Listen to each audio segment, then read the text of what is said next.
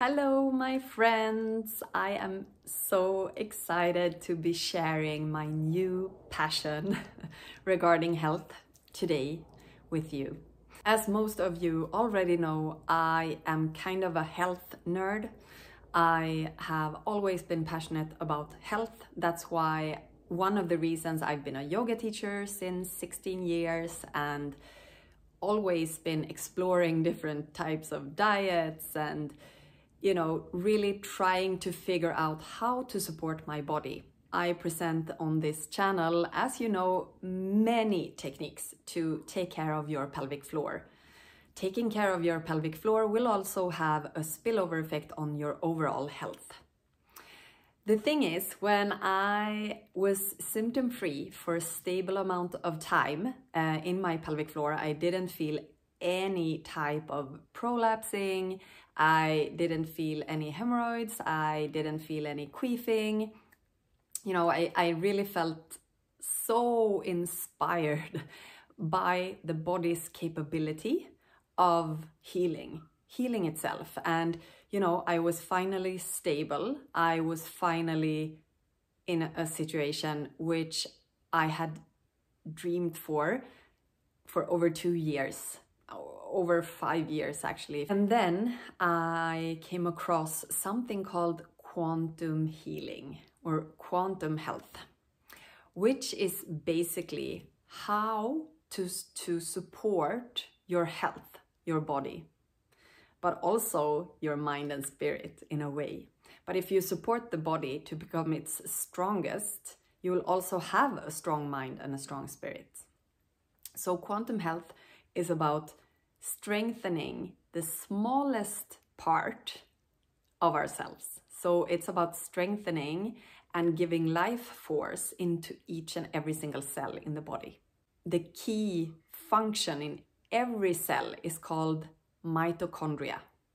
So mitochondria exists in every cell. It doesn't matter if it's a skin cell, a muscle cell, an organ cell, whatever it is. The thing with mitochondria is they all love the same thing. So I had heard about many things that comes into the quantum health space, which is earthing, grounding, EMFs, uh, non-native EMFs, also hydration, you know, that's so important for the fascia, circadian rhythm. Uh, it, had it had all like crossed my awareness, but when I was presented to it as this concept, it all made so much sense. So I happened to stumble over uh, Sarah Kleiner Wellness. Uh, I love her account. I love her story. If you want to go check her out, uh, I'll post the link here and down below. So when I came across her account, I was really intrigued to start to implement these strategies for my health. And it all stemmed from having a healthy pelvic floor. That's always my focus. Like still with this quantum health and if even if I don't have any symptoms, like I really want to still take care of this area. I still do hypopressives and belly dance and vaginal steaming and all of this.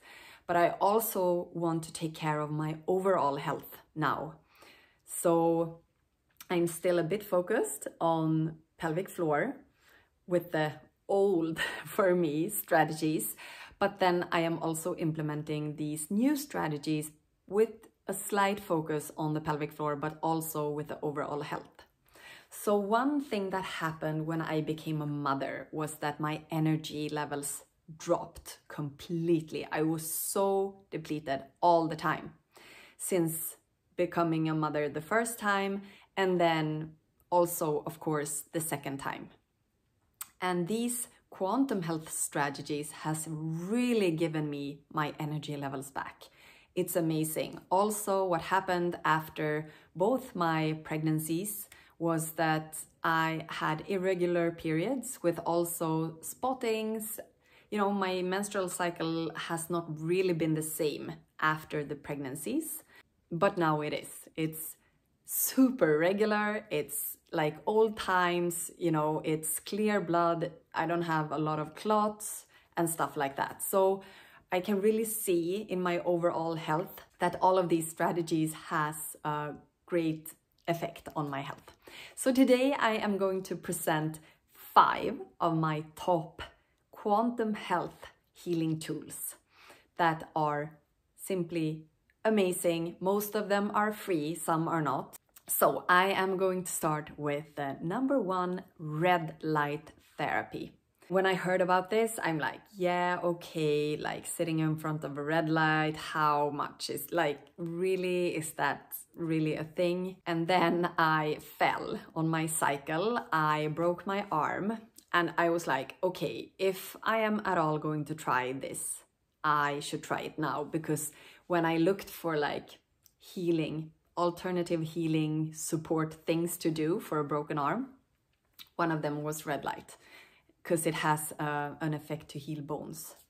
So I tried and actually from the day I implemented red light, the healing journey went so much faster. And I don't know if that's a coincidence. Like, it, I think about two weeks had passed from when I broke my arm up until when I got the red light. I ordered it, it took some time for it to come and so on. So two weeks passed and I started two weeks after I fell with like an exponential effect.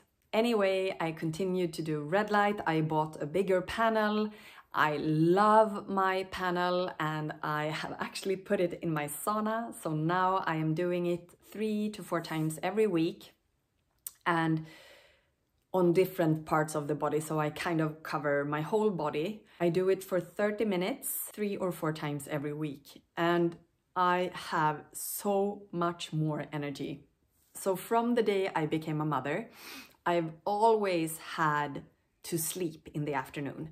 Not for a long time. I usually what I do is uh, a yoga nidra. I kind of fall asleep for a few seconds or minutes. I wake up and that's it. So it's like a super short effective nap, which in a way I love. But it's also very limiting to be dependent on that type of sleep in the afternoon, especially since I have started to work and you know the kids have their activities in the afternoon and all of that. So I just felt so tired all the time to have to take these naps in the afternoon. And I was like, okay, finally, like in five or 10 years, maybe I won't need to take this nap anymore because I'm not like having small kids anymore. But then red light came into my life. And if I have had a bad night's sleep, which rarely happens anymore, I mean, not as much as when the kids were young, it still happens. If I have a bad night of sleep, a bad night of sleep, I just do red light for 30 minutes and I have as much energy as if I would have slept eight hours, which is amazing. Like oh, why didn't I have this tool when I had like a baby? Because my sleep was crap.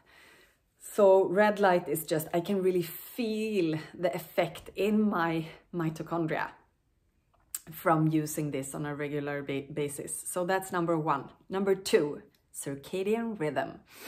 And there are lots to say about circadian rhythm and many people are talking about that.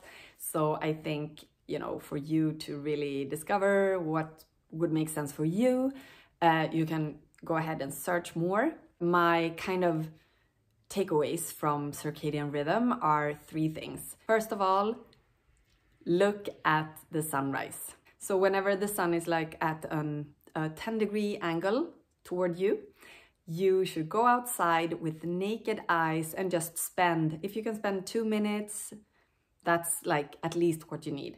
You could maybe spend five minutes or 10 minutes, 20 minutes is great. So that's usually what I do actually. I spend 20 minutes outside in the morning. It really shifts, that too shifts my energy levels. I'm much more clear in my head if I do that in the morning. So that's a really simple one. The next one is to block out blue light, especially in the evening but also maybe like during daytime and there are blue blockers. The simplest thing I think is to just change uh, the color on your screen to red and you will block out the blue light and you don't need to wear it like the specs all the time. So that's another trick. Uh, but especially like one hour before bedtime, I always make sure that I don't have any blue light. Thirdly, is to think about how much you eat and when you eat. So, what I'm trying, and I am not perfect at all, when I nail it, I feel the difference. So, I try to eat my biggest, largest meal in the morning with a lot of protein. And then lunchtime will be slightly smaller, but I think for me they are kind of the same size most of the times. And then a small meal for dinner. And I like if I just have like soup made of bone broth and just some vegetables inside or something, that's when I sleep the best and I wake up with so much energy. And again, there are so much more to learn about circadian rhythm, so if you're interested, just go and look it up. Then what we have is uh, EMFs. And if you haven't heard about non-native EMFs before, it's uh, radiation. So EMFs are radiation and we are getting natural radiation from the sun, from the earth, and you know, there are these natural radiations that are great for us. There are also these non-native EMFs that are coming from all the electronic devices that we have everywhere. So what I'm trying to do now is just unplugging the Wi-Fi and um, making sure all cell phones are uh, like off, not just on air airplane mode, but also off. My husband loves tech. so we had such a smart home. And when I realized this about the EMFs, I was like, okay, let's change the fire alarm, let's change the cameras. We're slowly like shifting from away from all of that to to decrease the ready the non-native EMFs. Fourth on my list is grounding. And I have always loved to walk barefoot, to go swim in the ocean, but it really became a part of my protocol in a different way. So how I spend the first 20 minutes outside is actually going for a walk when the sun is rising and I'm usually barefoot. So I'm grounding, I'm getting that sunrise light, and I'm also moving, which the fascia and the mitochondria likes in that way. So that's another free tool, and you need about two minutes to ground yourself. You can go anywhere where where there is not only earth, uh, like earthing. Um, you can do it on asphalt. You can do it in the water. Water is like the best grounding opportunity. Grass, uh, all of these, like if, if there's a mountain or stones, like you can ground whenever you are in contact with the earth. You can even hold like a plant outside. Uh, so yeah, that also gives gives much higher energy levels and also healing capabilities into the body. And the last thing for today that I want to mention here is hydration. I already like I live in Sweden. The water is super clean here, but I anyway have like this filter installed. So here people drink tap water because it's so clean uh, and there are no issues. But of course there are. So I have a filter. I use filtered water. And then what I do in the morning is to add some salt. I've been living so many years like having this hot lemon water in the morning and then I realized that, you know, there are no lemons here where I live in Sweden, not even in the summer. So that is probably going to create some confusion for my body. Like, why is this coming into the body when the, the sunlight is not at all as strong uh, as this like food or what I am digesting is telling me.